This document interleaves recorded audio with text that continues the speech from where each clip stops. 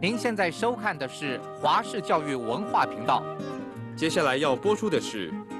网络行销。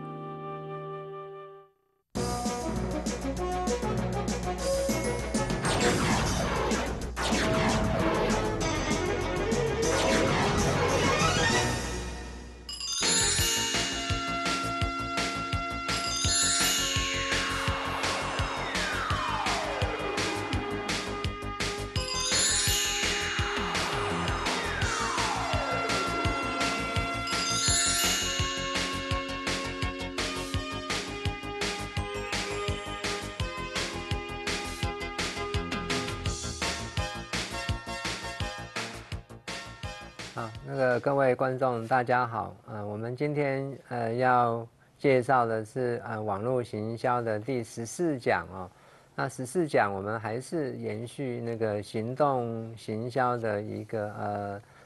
呃主题啊，来跟大家介绍。我们十四讲会介绍那个民众接触与使用 APP 的行为啊。我们上一讲讲的是呃那个呃数位行动装置。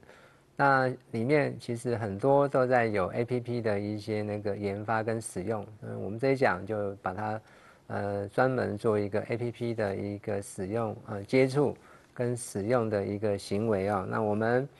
很高兴也很荣幸呢，请到这个呃行动行销的一个呃专家啊，跟我们来做分享。我们今天请到的特别来宾，呃，就是。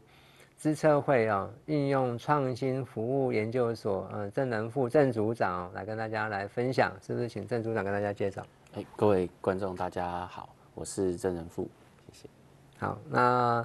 郑组长他在行动呃行销这一块领域，其实钻研了很久啊，他们有非常多的一些经验。好，那我们今天接下来就是要跟郑组长来介绍。呃，底下的一些学习的一些目标啊，就是大纲。好，那我们今天第一个要跟大家介绍的就是华世代的崛起啊，就是好。那第二个就是台湾民众 A P P 的消费行为啊，我们到底台湾 A P P 的消费行为有哪些？第三呢，就是 In App 的购买行为啊，在 In App 这个购买行为，我们分了两两块跟大家来做一个分享啊。In App 购买行为二啊啊，就是我们分为上下呃两部分来跟大家来做一个介绍。第接下来就是 In App 的销售市场的一个推估了啊。第六呢，就是台湾市场相较于全球的表现，我们到底台湾呃到底跟其他世界各国的表现怎么样啊？我们跟大家来做一个介绍。第七呢，就是 Mobile Game 的一个营收啊，从这边营收我们就可以知道。啊，整个的一个 App 的使用行为。第八，台湾其实不是市场太小，而是供给精彩度不足的这些问题啊。我想我们会呃跟大家来做一些分享。好，那这个就是今天我们呃要跟大家来分享的一个大纲跟学习目标啊。那我们就从第一个来开始，华世代的崛起，是不是请那个郑组长跟大家介绍一下？好，那我首先我这在这边的话，我会大概分享几个数字，就是在讲。我们知道，就是 mobile 的装置、行动装置发展起来之后，带动了很多的这一些 A P P 的一些应用跟一些发展的情况。这其实现在大家都很清楚知道 A P P 这这一个应用。那往下的话，我们大概看几个东西，就是第一个是我们可以看到的，就是跟 A P P 下载的下载的一些数字的分享哈。那各位可以看到，这个是来自左边是来自 Gartner 的一些分析的推估的一些数字。那 Gartner 它是一个国际。国际上面他们在做这样子相关一些新的科技的应用所研究的 research house，那算蛮非常专业的一个单位。那他们在估计，大概在去年一零三年的时候，整个全球的这个 A P P 下载数大概已经超过一千亿次了。就光 A P P 这样被下载，包含 iOS 跟 Android 两个系统，超过一一千亿次，那这是很可怕。全世界的人口不过就七十亿而已。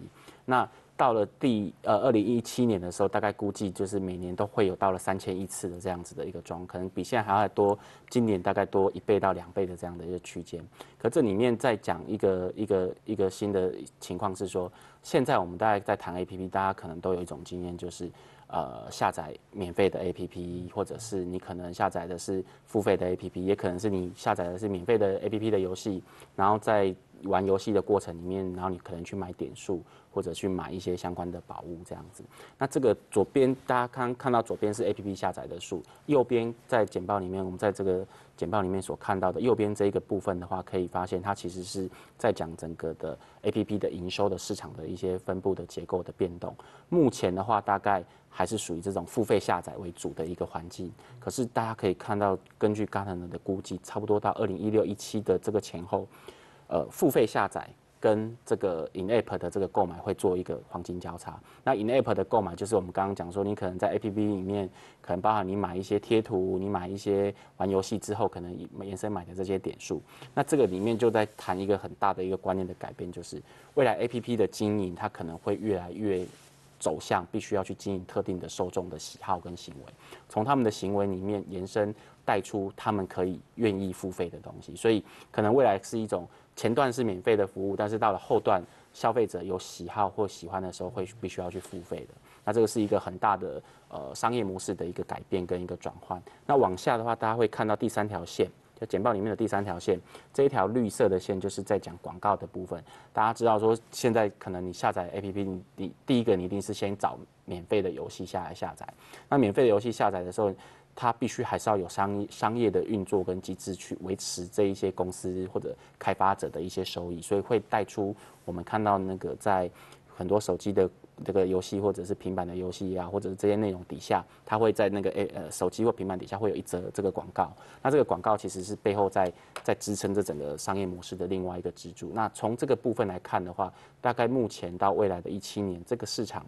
谈广告来支撑的这个商业模式，大概还可以维持一定的成长的一个情况，这个是我们看到一个比较大的一个一个现象。那往下我们再分享两个数字，就是呃，刚才他们在分析整个全球的市场的情况。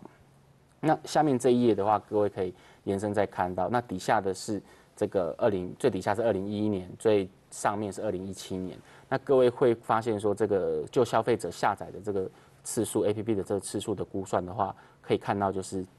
免费下载的比例越来越高。大概在两三年前，可能还有一成的人是会付费下载的，就是一一成的 APP 被下载是因为付费的状况。那到了差不多呃去年的时候，已经是剩下只有不到一成。那到了一七年的时候，这个可能只剩下百分之五。那这里面在讲，就是因为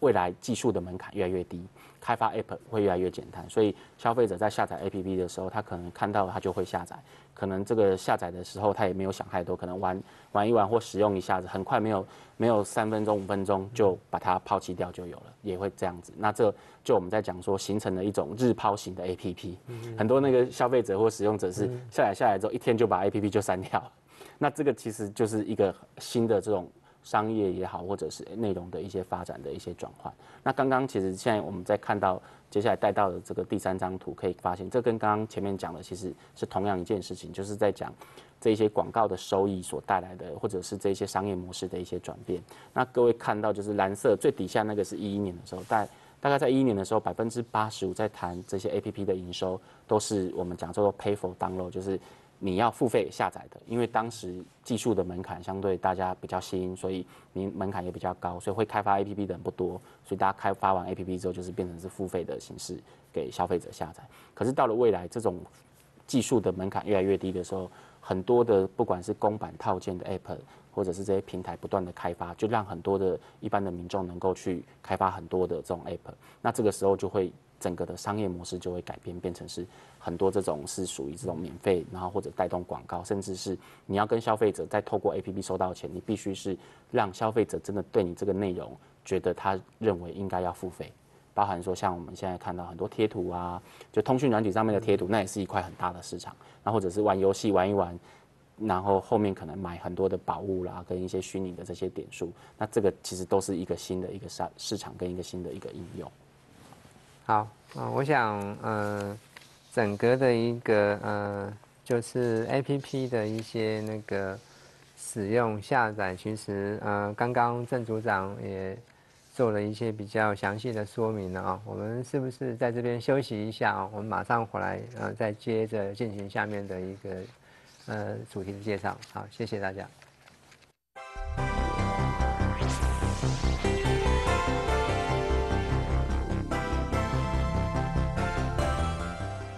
那我们接下来是不是再请郑组长跟我们来做一个分分享那个呃 A P P 下载在台湾的一个呃量，是不是跟呃，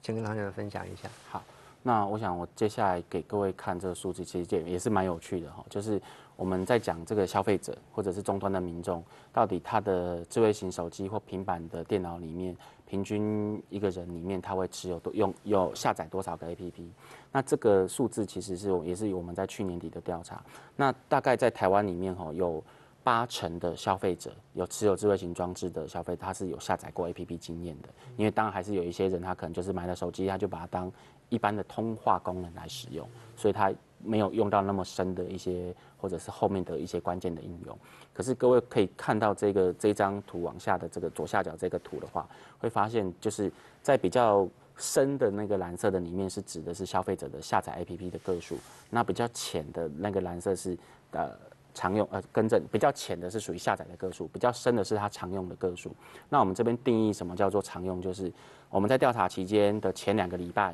你还有在使用 A P，你还有在使用的 App 的这个个数。那这个里面有两个数字跟各位做分享，就是在去年底我们的调查数据发现，平均每一只智慧型手机跟平板电脑被下载的，就是里面下载 A P P 的个数差不多是二十二点五个，可是消费者常用的。平均每两周里面会就在近两周里面会使用的大概只有七点五个，那也就是说你大概只有三分之一的 A P P 是下载下来之后你会经常会去用它，那很多东西你就是下载完之后就可能就放在那里了。那这里面就在讲说为什么我们会讲说华世代也等同于是是浅世代，是因为这个世代的族群跟消费者他使用资资讯或者是接触这些内容都非常的浅。他可能很快的就可以把这个讯息，或者是接收一个新的应用，可是他也很快的就发现这些新的这些内容不是他要，他就很快就丢弃了。那这是一个跟以往我们看到一个比较大的一个差异跟一个现象。那这个里面的话，再延伸再跟各位分享一个一个状况，就是刚刚我们讲了七点五个，包含 Facebook、Gmail、WhatsApp、Line 这些东西，那。大家算一算，这些已经扣掉四个。如果再再算一两个那个比较常用的一些平台，各各位会发现其实没剩多少了。嗯，那也就是说，其实这里面的这些应用的深度里面，还有另外一个问题是，很多大的应用，刚刚我讲的 Facebook 也好，Line 也好，WhatsApp 也好，或者是呃这些其他，就是我们刚刚讲会常用的这些，几乎都是国外的平台。这些我们看到常用的，它的来源都是国外的平台。那也就是说，我们其实，在谈这种新的这个时代的应用里面，台湾在谈内容的部分，其实发现也在这个调查里面，我们发现台湾在内容里面有很大的问题，因为在内容没有好的内容，或者是吸引消费者的内容，在这个时代崛起之后，它所使用的界面平台都是来自国外。那当然你会说，这个里面内容都是台湾的民众所上传的资讯，跟台湾民众里面互相沟通的东西，这没有错。可是问题是，它关键一个点是，这所有的背后的平台的经营跟商业模式的运作都是来自于国外，那变成我们国内在内容的经营也好，比较没有我们自己有特色跟吸引消费者的一个一个资讯跟一个界面。那这里面我想就我就延伸再分析一个数字，这个数字是我们在。今呃一二零一四年的这个上半年所做的一个针对去年消费者用的这个 A P P 的这个调查的数字，那各位可以看到，就是这里面包含的，就是消费者常用的这些，实际上面从调查访问里面他常用的 A P P，包含 Line 啦、Facebook 或者是谈苹果日报，或者是呃 YouTube 啦，或者是像 Facebook 的这即时通这些东西，那各位会发现，这全前二十名只有一。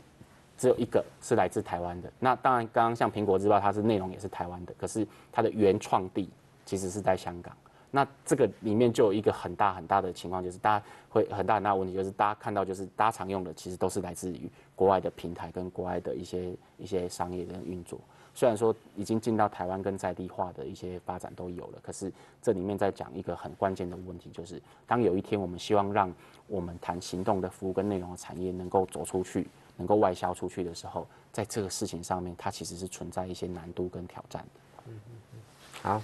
谢谢。我想这个是大家应该要有所呃警惕的哦，就是为什么那么多呃 A P P 的下载使用，其实台湾是非常少的哦。啊，台湾所扮演的这些是非常少的。好，那我们接下来是不是请郑组长再跟我们做一个分析，介绍台湾民众 APP 的整个的消费行为？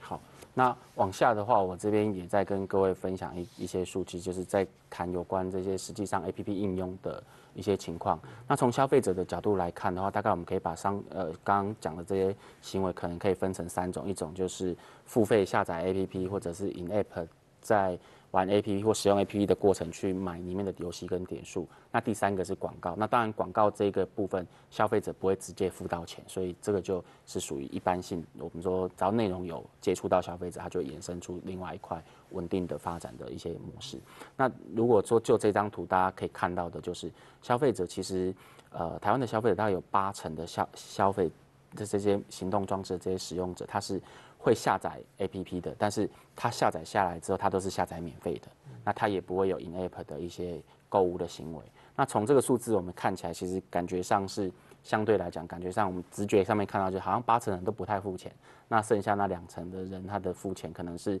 in app 啦，或者是直接付费的形式都有这样子。嘿，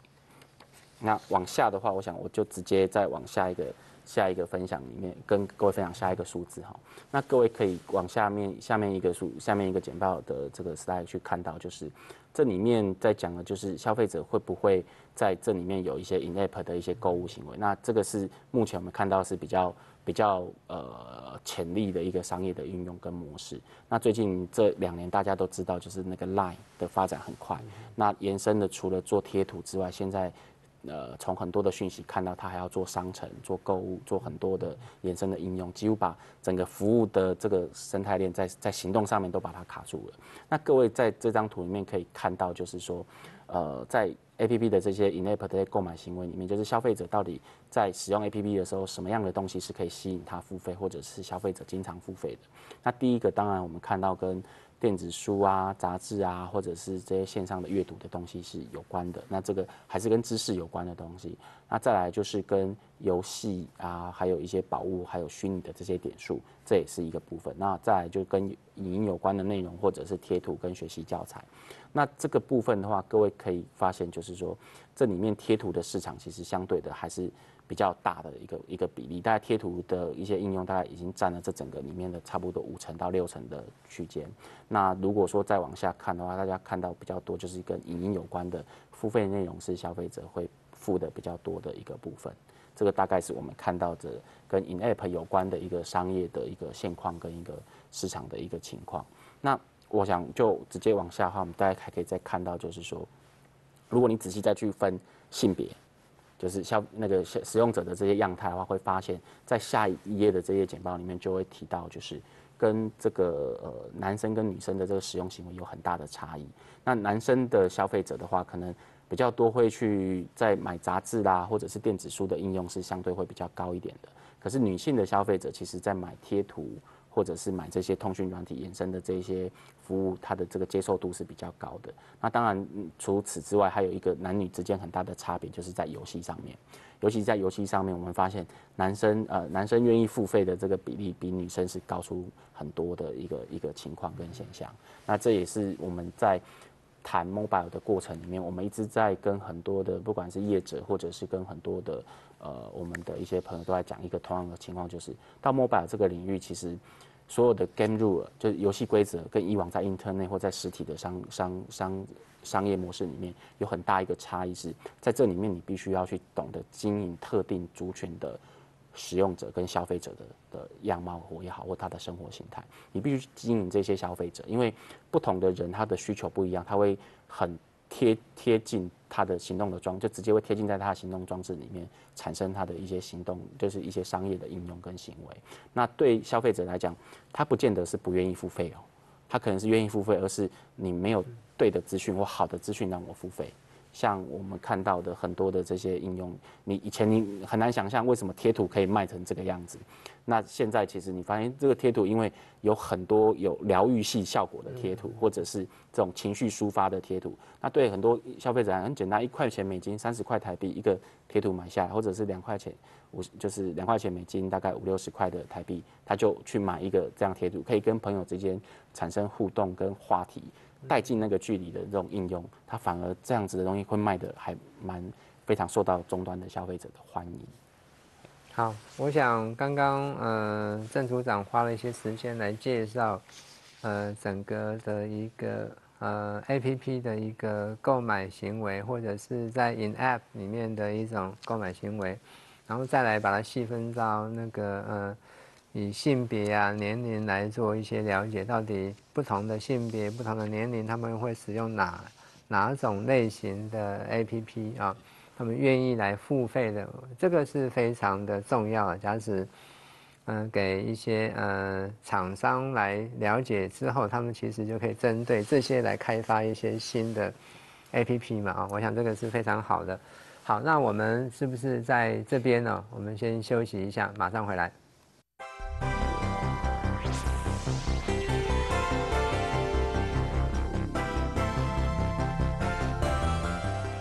接下来是不是请郑组长再跟我们稍微分析一下 In App 的销售市场的一个推估的一个状况？好，那接下来我我这边再跟各位分享一个数据，是跟我们刚刚讲的这个未来这整个的 Mobile 的这个内容会朝向 In App 的发展。那这里面的话，我们大概从去年针对台湾的消费者所做的一个调查里面所做的回推，那各位可以看到蓝色的 bar 大概就是它。消费者里面，他愿意付费的人口的这个数字，那这个是以千人为一个单位。那红色的点的话，大概是我们如果把它换算成这个付费的金额乘上付费的金额之后所换算出来的市场规模。那这里面大家会看到，就是第一个大概占比比较大的还是在通讯，就是在。刚刚讲通讯贴图的这一块，因为它的这个 reach 就是接触消费者的这个普及度是比较高的。那大概有超过大概差不多七百万人，其实是曾经在通讯软体上面产买过这些贴图，产生这些商业的行为跟应用的。那如果你把它换算这些市场的规模的话，大概一年这个都是大概有十几亿的市场在基础的这个市场在这里面。那除此之外的话，各位会看到第二个部分就是跟影音有关的这个内容。然后像刚刚讲电子书啦，或者是游戏点数跟这个学习的内容，那这里面的话，各位会慢慢发现，就是好像这种属于疗愈系的，或者是跟这种娱乐性质的这样的内容，会受到这样这个终端消费者所这个青睐跟这个接受度也会是比较高的。好，那接下来我想我们还是请郑组长再跟我们分享一下，到底台湾市场相较于全球表现，到底我们的表现怎么样？那其实我们以前在谈网际网络的时候，或者是在在谈 mobile 这个行动的应用的时候，大家都会常讲一件事情，就是好像我们台湾的市场很小啦，所以我们就应该要走出去啦。就我们常会听到听到很多这样子的论述跟这样子的谈谈论的一个一个谈法。那以下的话，我想跟各位分享几个数字，是我们大概整理自包含的这个 A P A P P A App Any，然后还有就是 New Root，就是这个叫做新动物园。跟 Apple Any，那这个这两个单位其实是不同的单位哈，就是 Apple Any 它是来自北京的公司，他们在做这种呃行动的 APP 的这种监测啦、数字的这种推估的公司。那这里面其实是我们在去年一零三呃二零一三年的时候所看到的一个数字跟那个表现，我们其实看到这个数字还蛮讶异的，就是我们在讲这些行动的这些平台，就是最大的现在就是 iOS 跟 Google。的 Google Play 这两个平台，那在去年第三季的时候，根据这些这几个单位所汇整出来的数据，会发现台湾在全球谈这个 iPhone 相关 iPhone 的这个平台后面的这些内容的收入的付费的这个情况，大概台湾在全球排到第十名。那在 Google Play 这一块，台湾甚至排到第五名。那到去年第三季曾经发生过这样子比较高峰的一个数字，这里面其实有一个很大的启发是说，大家都会讲说台湾没有市场。或台湾市场太小，可是如果你真的把它跟全球之间做比较表现的时候，会发现其实它也有一定的规模了。虽然说它可能不是最大的市场，或者是最最最跟中国大陆比还是有很大的落差，可是相较之下，它已经有一定程度的规模跟它的表现了。所以这里面我们会常讲说，我们台湾市场小，台湾市场很很怎么样？那其实是这个这个问题其实是虽然存在，但是。另外一个议题是台湾的内容的业者或服务的业者有没有办法经营我们自己在地的消费者或经营在地消费者的喜好跟需求，这是一个很重要的一个情况跟现象。那往下的话，我其实再分享一个数字跟资讯给大家看。这个是另外一个监测单位，其实也是一样，在去年底所发布的数数字。各位会发现，就是说大家在他在算这个行动的游戏所占的这个营收里面，会发现说台湾其实在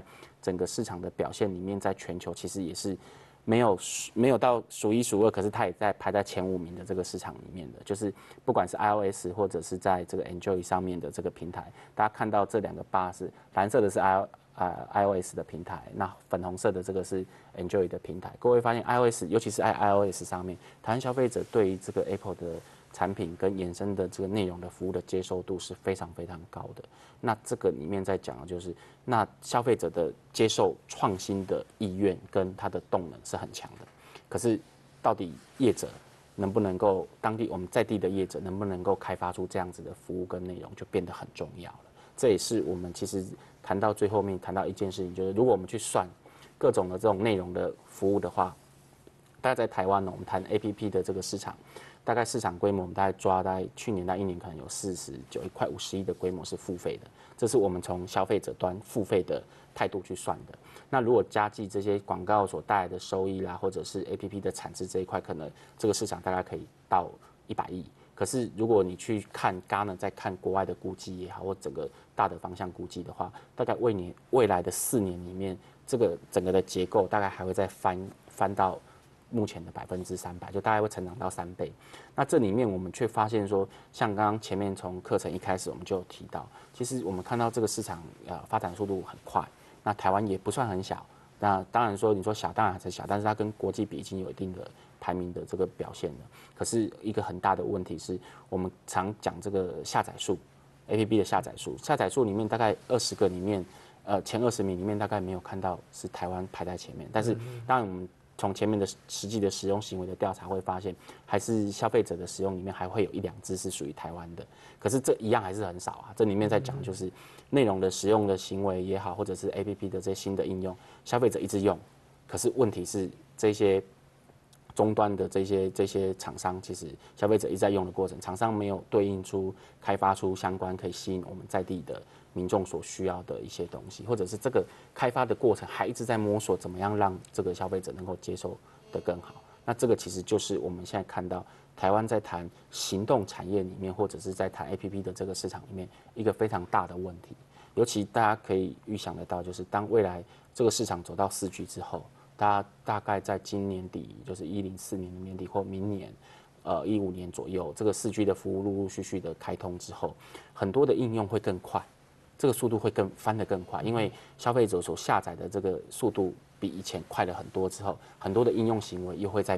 做一些转变。那当转变的过程，我们如果没有有一个好的一些创意，或者陆续有一些很多的一些创意去支撑，或者产生新的服务去支撑这样子的一个市场的话，很快这个市场就变成是国外的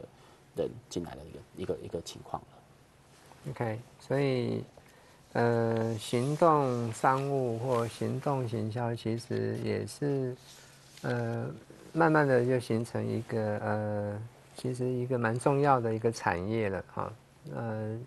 所以呃，照组长的那种呃分析来看的话，我们台湾其实还有很多要去强化、加强的，其实要有一些创意的一些应用哦，新的应用来开发一些比较。呃，大家民众会使用的一种呃行动，呃商务的应用的一些软体啊，比如说呃 App 对吧，或者 In App 的在里面的一些带动一些这方面软体啊，我想这个是一个产业，假使能这样做的话，我们未来其实呃在在那个呃整个的一个行动行销，或者是整个厂商其实要去。嗯，做一些那种呃，利用这种行动平台啊，做一些呃，整个的行销，呃，其实可以给厂商们一些方向了，对不对啊？我想这样子，大家能呃做这方面的一些努力啊，大家应该就可以往这方面去做一些啊。好，那我想我们今天啊，这个就到这边呃结束啊，谢谢组长的介绍，也谢谢各位观众的一个观看，谢谢大家。